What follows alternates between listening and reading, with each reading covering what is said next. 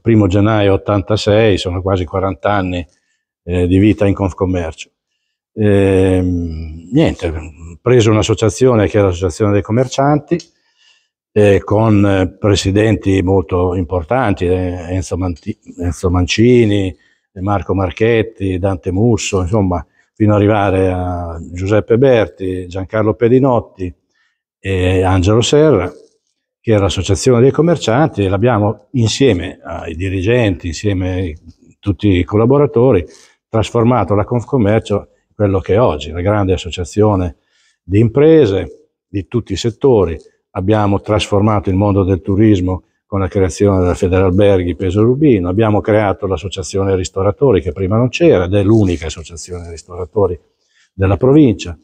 Abbiamo realizzato tantissime iniziative su tutto il territorio dove abbiamo 15 sedi e tra l'altro sedi che sono state in questi anni, in questi ultimi anni, sono state aggiornate, ristrutturate, penso alla sede di Fano, alla sede di Gabice, quella di Urbino, eh, abbiamo creato un progetto per l'itinerario della bellezza eh, che ci sta dando molte soddisfazioni sia dal punto di vista turistico ma anche economico, devo dire, eh, con cinque comuni che inizialmente affidarono l'incarico della promozione alla Confcommercio e che oggi sono diventati 29 nell'anno prossimo. quindi è difficile in, in, un minuto eh, elencare le tante cose fatte, ma insomma c'è grande soddisfazione personale insomma, per, per, quello che abbiamo fatto e quindi questi tanti anni, questa vita sicuramente non è stata sprecata. Ecco, non ho nessun rammarico, abbiamo superato anche momenti difficili, sono felice di quello che abbiamo fatto e di quello che ovviamente continuerò a fare per Confcommercio fino a quando insomma, i dirigenti vorranno. Il momento più basso sicuramente sono state le due vicende, quella del Covid che ha riguardato tutte le imprese, tutte le associazioni con le difficoltà del mondo economico e l'altro invece aspetto che ha riguardato soprattutto noi, eh, questa iniziativa imprenditoriale che non è andata bene, questo del Cubo, questo tentativo eh, voluto dai dirigenti, da tutti noi insomma, di creare un centro commerciale all'interno del centro storico, eh, favorendo la presenza e la partecipazione dei commercianti del centro,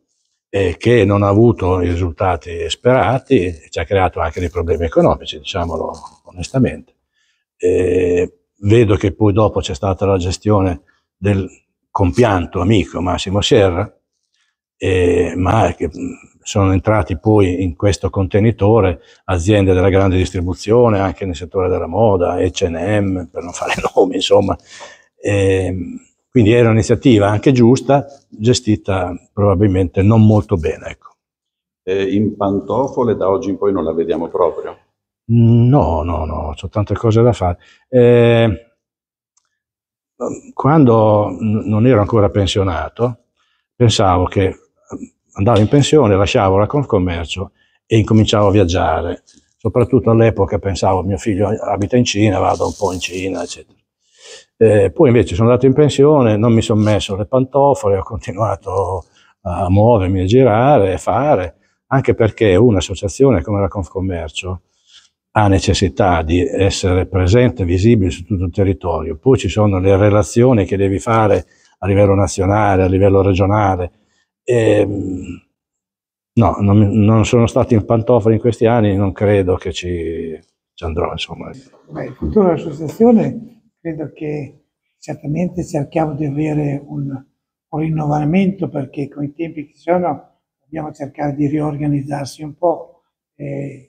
quello che vediamo per il momento è che l'Agnesi, che è il vice direttore, farà il di direttore e per vedere di riorganizzarsi e decidere che eventualmente un giorno assumere un altro direttore che porterà avanti sia la linea che il CDA di Concommercio stiamo valutando, studiando, vedendo cosa possiamo migliorare per dare sempre dei migliori servizi ai nostri associati.